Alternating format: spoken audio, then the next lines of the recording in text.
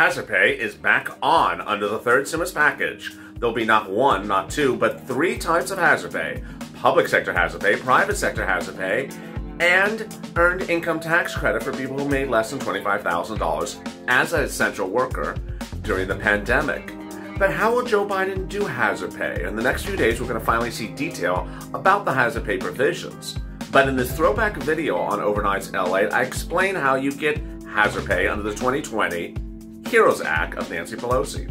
It was $10,000, up to $10,000, based upon the following calculation $13 an hour from January to 60 days after the pandemic ends, times the number of hours you worked, part time, full time, or overtime. It's very straightforward and it's very organized. The question is whether he'll do this or modify it. Enjoy this Overnights LA throwback video explain how you get hazard pay, how it's calculated, who are essential workers, and how it was devised under the 2020 HEROES Act. Enjoy this Overnight LA's video on hazard pay.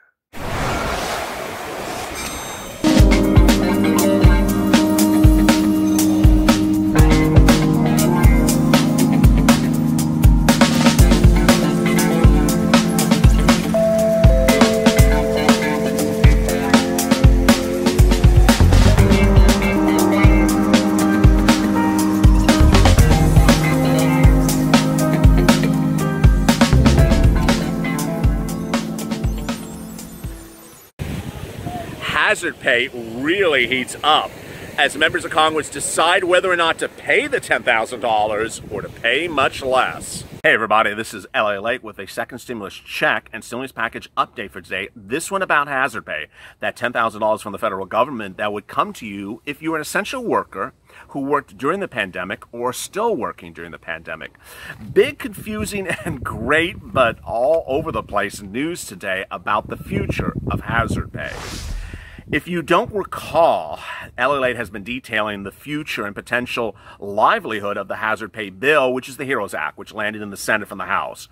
It pays $10,000 to essential workers who worked during the pandemic based upon a $13 an hour calculation times the number of hours you worked, whether you were indep- whether you were full-time, part-time, uh, temporary, overtime, and you bring that number up to the present. If you made over $100,000 last year, you would only get $5,000 a lump sum, but if you made less than $100,000, you would get $10,000. Moreover, if you didn't reach that threshold, you would still get a lump sum amount for whatever you reached at, and then you would be paid $13 an hour going forward.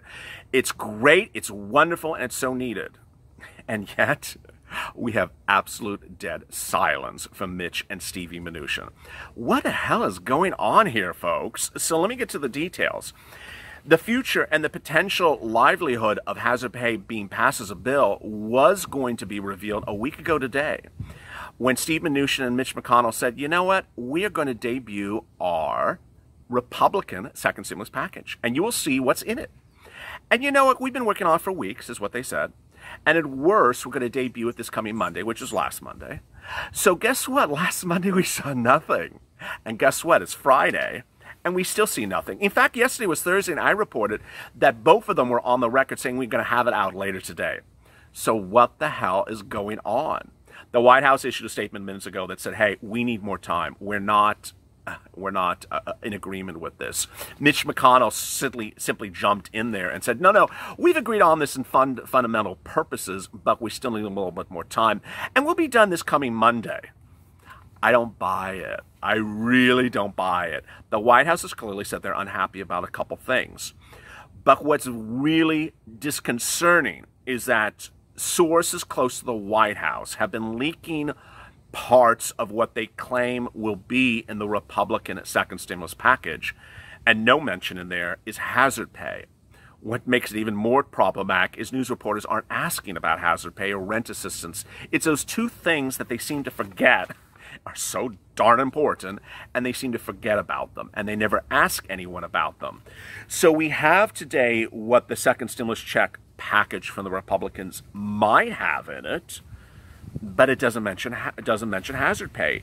It would include temporary and reduced extensions of unemployment insurance, a round of direct payments, a liability protection for businesses and doctors, and 105 billion dollars in school and funding.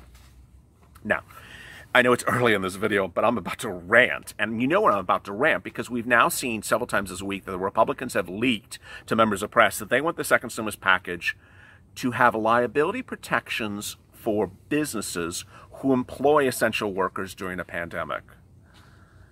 I mean, really?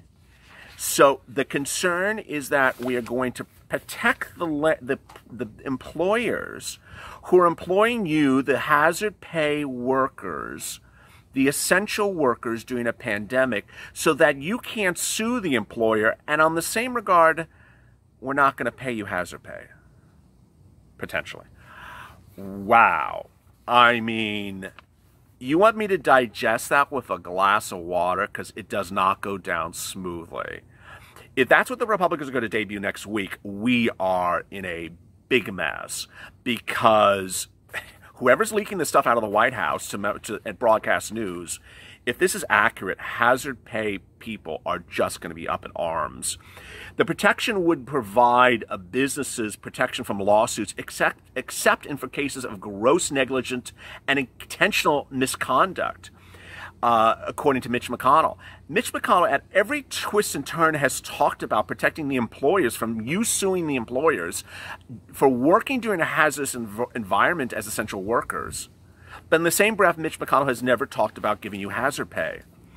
He has described the provision as a red line in talks with the Democrats. And this is also quite interesting that he has said, Mitch McConnell, and this I actually believe his I believe this is his position that he is that this is a non-negotiable that he's absolutely going to require the second stimulus package to have a provision in there that essential workers cannot sue their employers if they get injured during the pandemic. But in the same regards, Mitch mentions nothing about hazard pay. So will hazard pay be a red line for the Democrats? Will they say, fine, Mitch, we'll give you that, that liability provision, but we are not going to sign the bill unless you provide for hazard pay? I don't know.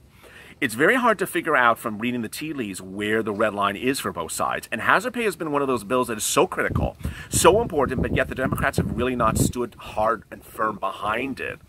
It's also been the product of bad news reporters. Broadcast news have continually failed to ask questions about hazard pay and rent assistance.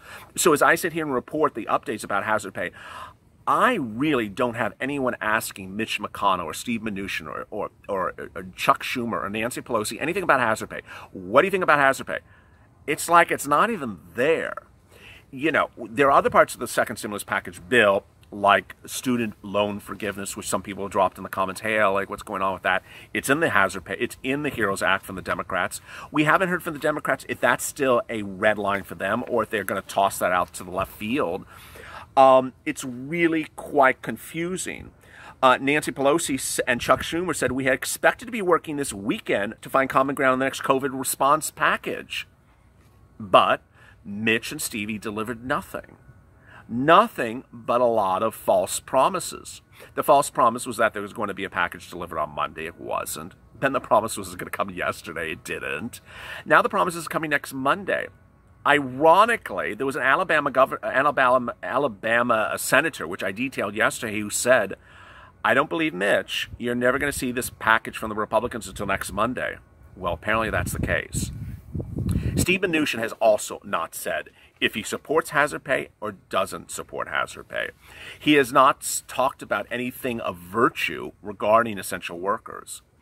And what's very, very troubling is that the numbers the lockdowns and the situations are getting worse. What this channel has been detailing is that lockdowns are being issued nationwide, city by city, in a, in a, in a very comprehensive way, very quickly, and they're going to continue very quickly.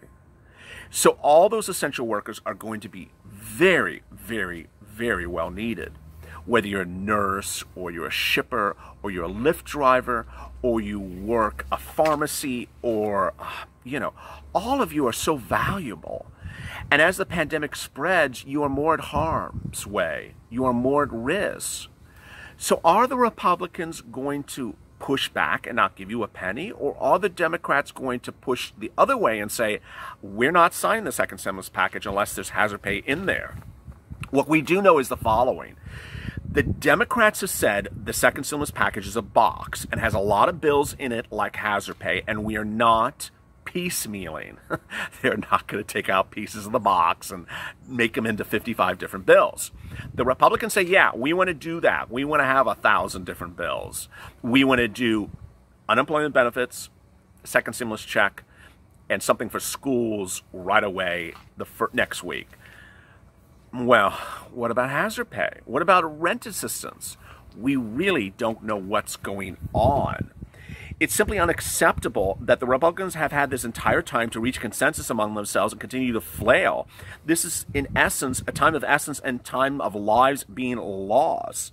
A spokesperson for Mitch McConnell refused to comment about the story. Uh, every time I write, a, every time I do these uh, updates, it's a, Mitch refused to comment. Mitch refused to comment. Mitch is uh, Mitch doesn't have your stimulus package. Um, Mitch is not available you know, if you're not available, just, you know, just retire and go home because, you know, you're not serving your party. You're not serving the Democrats, the Republicans. You're not serving the, you're not serving your constituents. You're not serving the American people. You're literally doing nothing. And all you're doing is making a lot of bills to help big business. And so the audacity, and here I'm ranting again, the audacity of Mitch McConnell to say, I'm going to have a liability provision to protect, to protect employers so that when they're employing people in a hazardous environment in as essential workers, you can't sue sue them unless they intentionally hurt you. Unless intentional misconduct, you can't do anything with your employer. But on the same breath, he doesn't want to do anything for the employees. It's really, really quite scary. Um, but the Trump administration apparently is unhappy with someone, and it seems to suggest they're unhappy with Mitch McConnell. The Trump administration has requested additional time to review the fine details and will be laying down the proposal next week. Uh, but Chuck Schumer says, don't hold your breath for next Monday. The Republicans' disarray and dithering has a serious potential deadly consequences of tens of millions of people. Uh, Pelosi talks about the $600 a week. Um, Mnuchin says um, we're still working on it.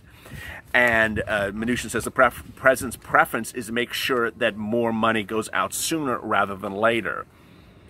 Well, where is it? Ultimately, what I want you to understand is that if you're working as a essential worker, there are several hazard pay bills before the Congress. And that if the Republicans don't include it next week, don't worry, because there are other Republicans that have.